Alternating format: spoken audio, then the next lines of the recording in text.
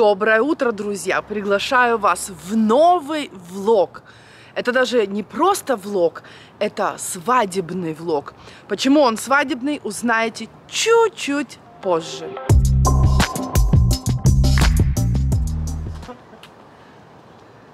Мой муж считает, что я выгляжу вот так. Не знаю, вы с ним согласны или нет. Напишите мне, пожалуйста. Потому что то, как он издевается надо мной, то есть как он издевается надо мной, как над блогером, понимаете, это просто невыносимо. Так вот, свадебный он потому, что намечается свадебка, свадьба, и не одна. Завтра у нас годовщина наша, совместная. И понедельник у наших друзей, Вероничек, вы их знаете, они женятся, и мы приглашены как главные свидетели этого торжества. Так вот, сейчас мы гоним по делам, потому что мы заказали подарок, в общем, готовимся по полной программе. А пока мы едем по нашим делам, вы смотрите, как мы офигенно провели выходные. Это просто супер кайф и... И что? И мысль потеряна. В общем, смотрите, как мы провели выходные. Ну, а здесь у нас все стабильно. Понедельник. Вот. Пожалуйста. Расслабляющий фактор. Тут еще звук надо слышать. Очень милое посапывание. Ну, просто у эльфа было очень много дел с утра. Он их все переделал. А Нюпа просто любит отдыхать. Да, Нюпа?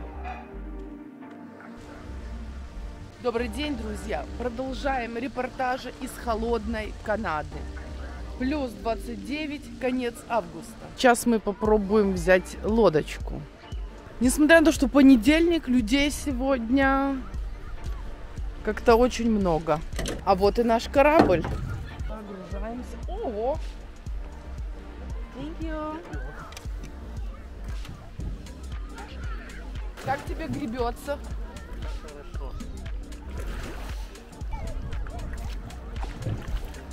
Какая красота! Да, вот ты прямо едешь на островок Надежды.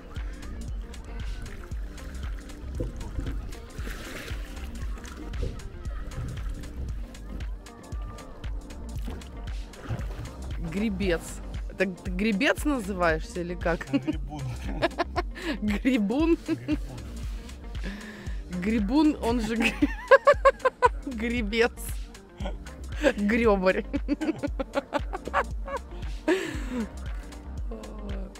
Вот, мы подплыли. Смотрите, какие красивые дома. Вот просто восторг. Вы их уже видели много раз, да. Мы здесь по льду зимой ходили, вы их тоже видели. Вообще, вы уже все видели. Вот женщина там одна. Ее вы еще не видели. Гребец, пару слов для прессы. Это вообще мой самый любимый здесь дом. Он так красиво выходит на все озеро. Вот с таким обзором. Вот мы не ленивые, мы голодные, поэтому мы не ленивые. Буквально 20 минут мы, и мы мотнулись за пиццей. Сейчас заляжем в тенечке, будет нам хорошо. Та-да! Вау, слушай, какая она красивая. Тут еще какой-то нам соус дали чесночный.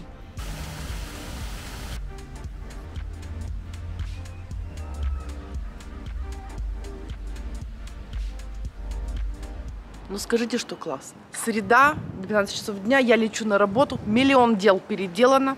Э, подарок мы забрали, еще кое-что сделали. Пока ничего не могу рассказать, показать. Все это будет в следующем блоге, но подарок просто so cute. Рубрика «Бобик сдох». Бобик просто сдох в прямом смысле этого слова. Друзья мои, канадские дети готовятся к школе. И всю неделю они стригутся. Просто одни детские стрижки. Ну как детские? 10-12 лет. У меня, на мое счастье, все длинноволосые девочки. О, сейчас я вам буду жаловаться. В общем, трындец. Последняя клиентка у меня сегодня была девочка лет 11 с длинными-длинными кучерявыми волосами. Но дело не в этом. Волосы не проблема. Это был один сплошной колтун. Просто колтун. И мало того, что это был колтун, который я не могла 40 минут расчесать, она еще делала вот такие вот глаза, начинала истерику, что ей нужно просто один миллиметр, что она не хочет стричься. Ну, а мне же нужно быть доброй, веселой, ну, вы понимаете. И я в какой-то момент не выдержала и сказала, что если ты не будешь расчесываться, у тебя вообще будет стрижка на лысо. И что мне стресс делать не надо. Потому что я уже... Вот она сидела на грани истерики, потому что ей жалко эти ее волосинки. А я была на грани истерики, потому что я не могла это расчесать. И я не могла смотреть на это недовольное лицо. В общем, я вам зажаловалась. Завтра у меня в расписании ни одной детской стрижки, чему я безумно рада. Я не люблю стричь детей. Это просто не моя тема. Все, я поехала домой, вам нажаловалась. Такой красивый закат сегодня. И уже темнеет значительно раньше. Если летом темнело в пол одиннадцатого, то сейчас без 15.9, я думаю, еще минут 10 и будет темно. В общем, осень приближается. Добрый день, друзья! Рубрика «Не было печали, просто уходило лето». Итак, новостей за сегодня, за 31 августа, просто нереальное количество. Новость номер один. У нас сегодня большой праздник, годовщина нашей свадьбы. Сегодня 5 лет, как мы поженились. В общем, в общем, 5 лет, как я вышла замуж. Как я удачно вышла замуж. И ночь сегодня, должна я вам заметить, была громкой. Она прям была максимально громкой, но это было не то, о чем вы подумали. Сегодня опять начала орать водокачка. То есть четыре раза за ночь у нас включалась сигнализация с водокачки. Кто смотрит меня давно, знают нашу эту проблему. У нас раз в месяц периодически орет сигнализация по ночам. В общем, зарала сигнализация, ночь была бессонной, потому что она выключалась, я засыпала, она включалась, я просыпалась. Все в этом духе. Вот, это номер один.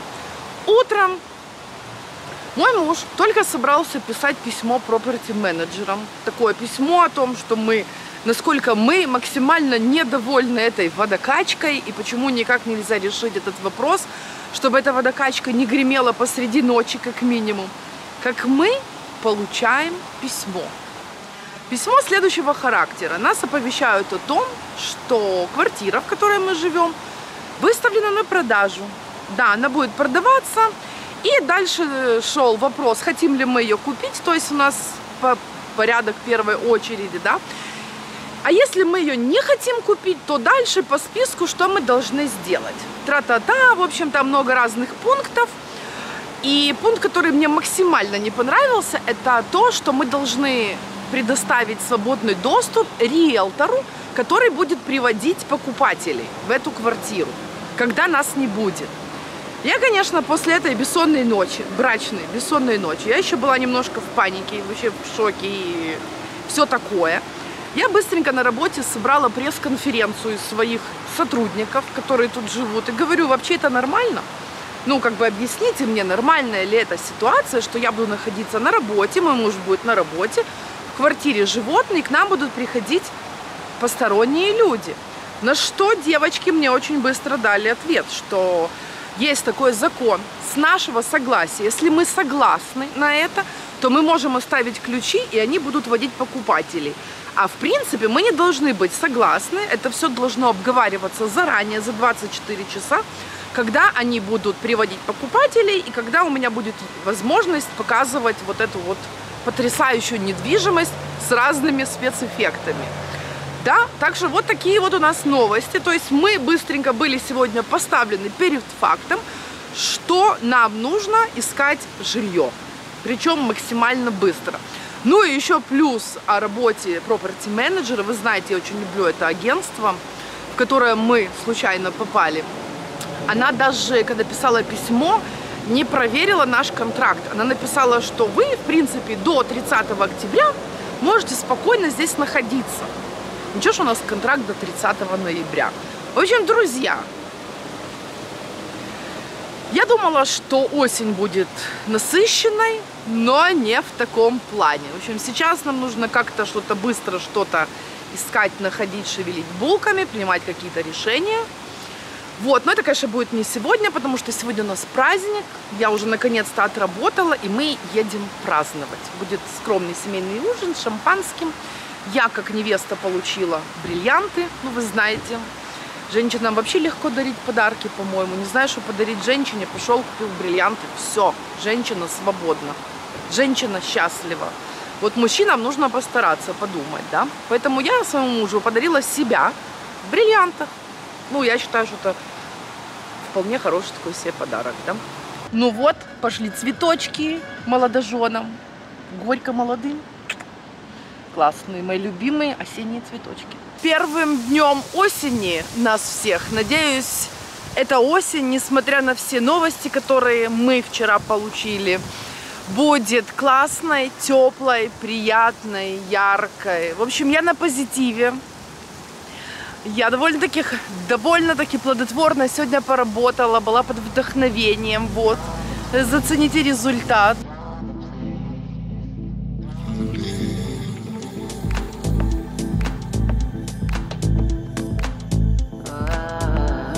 Пришла девушка, говорит, э, вот это вот с розовыми волосиками, говорит, хочу, и показывает мне картинку, такой, знаете, женский вариант – Совет Юнион, конец 80-х. Такой красно-бордовый баклажан. А девушка сама такая нежная, как статуэтка, фарфоровая кожа, голубые глаза. Я ей говорю, а есть еще какие-то варианты, потому что, ну, я не могу. Я не могу такое нежное создание выкрасить в красно-фиолетовый баклажан.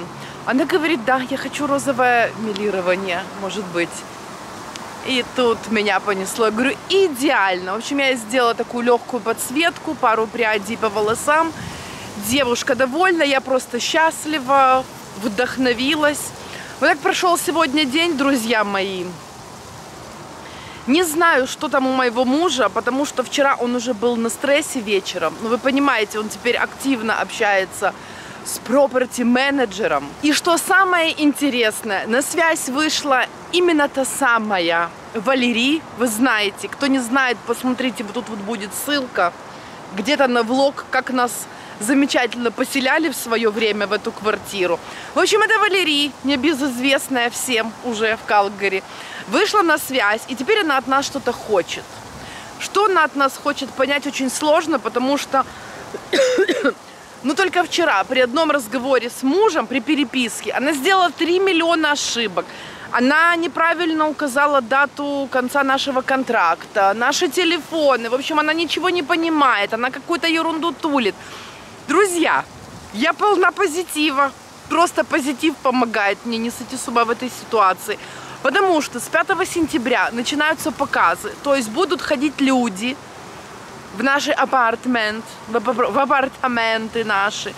Они будут смотреть эту недвижимость. Я должна буду это все показывать. Но самое в этом печальное, это то, что я должна буду общаться с этой Валерией. Господи, дай мне сил, терпения. Плюс еще параллельно, конечно же, мы должны искать что-то себе. Потому что время близится к развязке. Да, чуть не забыла, пока я еду за оберточками, посмотрите на наше свадебное путешествие. Да, у нас все-таки эта неделя праздничная. Вчера была годовщина свадьбы. А, сегодня, 1 сентября, 5 лет назад, мы прилетели в Грецию, загрузились на потрясающую яхту с офигенными друзьями. В общем, посмотрите, у меня есть кусочки с того путешествия. Я тогда еще не была таким супер модным блогером, поэтому от этого прекрасного тура остались только какие-то маленькие нарезки. Смотрите.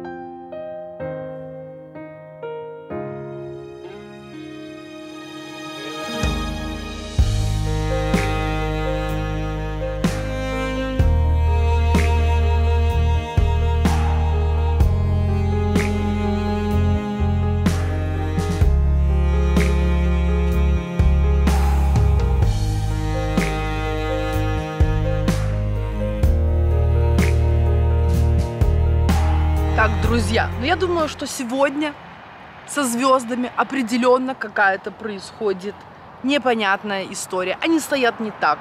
Они реально стоят не так, потому что день, он начался сегодня феноменально. И точно так же он закончился. Напоминаю, сегодня суббота. Я в прекрасном настроении. Вы понимаете, позитив это мое все. После всех вот этих событий, что нам нужно что-то делать, что-то менять в жизни. Я максимально на позитиве. Приехала сегодня на работу. И первая клиентка у меня была просто из серии «У меня такого никогда не было». Шла женщина, вот с такими длинными, седыми корнями. Остальные волосы у нее крашеные в черный цвет. И она сказала мне, что она хочет оставить полностью натуральную седину. То есть она хочет отращивать свои седые волосы. А вот эти черные, черные, вот этот вот веник черный, она хочет сделать милирование серебристое. То есть вы понимаете, 9 утра, крашеные черные волосы, серебристое милирование плюс седина. Я ей говорю, нет, это невозможно. Вообще собрала консилиум из всех русскоговорящих, англоговорящих. Все ей сказали, что так не получится, получится просто сделать ей пару рыженьких прядей. Она, конечно, согласилась, потому что безысходность это было второе ее имя сегодня. Но что делать? Она говорит, мне нужно хоть что-то сделать, чтобы как-то ходить вот в этом виде. Вид и так, мягко говоря, из ряда вон выходящий, потому что вы знаете мое отношение к натуральной седине. Я это просто не люблю. Я не считаю это красивым. Пусть меня закидают камнями, камнями любительницы натурального вида. Это некрасиво. Когда женщине лет 40-45 и у нее торчат седые волосы, она выглядит на 100. На 100 лет, а не на 100%. В общем, я там мучилась в своем инстаграме, ссылочку вам оставлю внизу, я все рассказала, всем нажаловалась. В итоге я убрала ей эту черноту, вот эту вот ее, она осталась очень счастливая, ну я, соответственно, тоже, потому что когда клиентка счастливая, я, соответственно, я, я счастливее. Дальше было лучше, но потом не буду рассказывать. Были девочки, которые мне тыкали вот эти все картинки с красивыми укладками и хотели, чтобы их волосы после шампуня выглядели просто вот так, как после фена.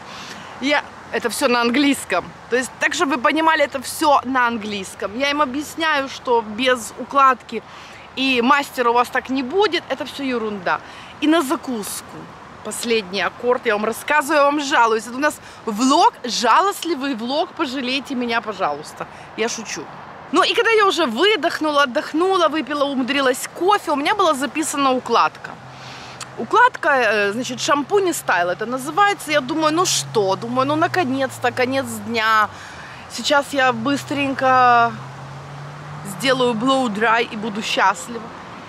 И ко мне попадает клиентка из Африки. Из Центральной Африки, да? То есть вы понимаете. Просто вот такая вот красавица. И у меня были такие глаза, то есть они у меня полезли вот сюда вот, они у меня полезли. Я начала метаться, потому что у меня никогда не было таких клиенток. Я никогда не работала с африканскими волосами. Я бегу в подсобку, спрашиваю, что мне делать. Вот у меня такая вот клиентка. Они говорят, делай, что хочешь, мы не знаем. Мы не можем тебе помочь, потому что мы тут все и так уставшие. В общем, но это было только начало этой беды. Кое-как я ее уложила в мойку и говорю, ну, вообще, вот, что ты хочешь, как мне... А и тут она мне говорит, это, это апогей, главное, смой с моих волос утиный жир.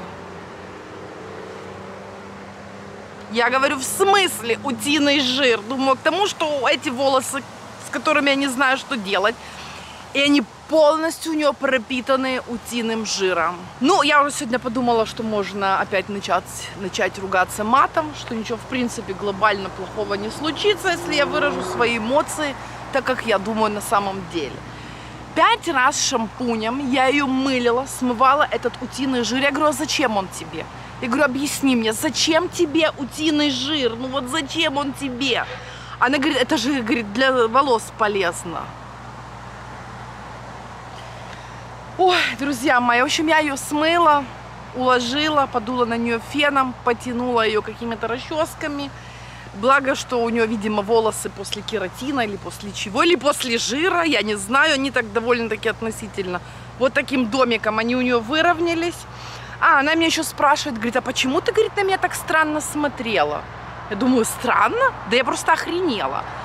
Я говорю, а это был сюрприз для меня, говорю. И я ей сказала, как есть. Я никогда не работала с такими волосами. Она говорит, так у меня же не африканские волосы. И я думаю, Венера в ретрограде. Венера, Меркурий. Я думаю, что сегодня все звезды, вот которые есть, они просто все в каком-то ретрограде. Что-то происходит. Я думаю, ну если у тебя не африканские волосы, то у меня, в принципе, тоже. Вот, друзья мои, такая была насыщенная неделя, я не знаю. Ну, была еще женщина, я даже уже не хочу рассказывать, вот с такими кудряшками, которая азиатка, черные волосы. Она мне тыкала фотографию Майли Сайрус. Вы знаете, у нее беленькие такие беленькие волосики тоненькие и стрижечка. И она мне говорила, хочу так. Я говорю, нет. Я говорю, даже не начинай. Я говорю, так у тебя никогда не будет. Ну а что, как я могу взять вот эти вот кудри черные и сказать, что я ее постригу, и она будет выглядеть как, Майли, как Майли Сайрус? Ну так же не бывает, да? В общем, друзья, я выговорилась. Вы мне напишите, поддерживаете ли вы меня. Вот, напишите, были ли у вас какие-то такие траблы в работе на этой неделе, вот на этой конкретной неделе. Я тут, видите, я вообще в прекрасной прическе, у меня fashion is my profession, кто не в курсе.